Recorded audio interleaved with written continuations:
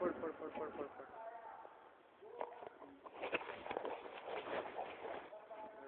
थोड़ा सा पूरा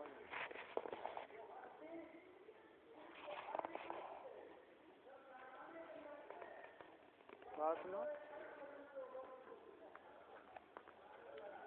इतनी बनी।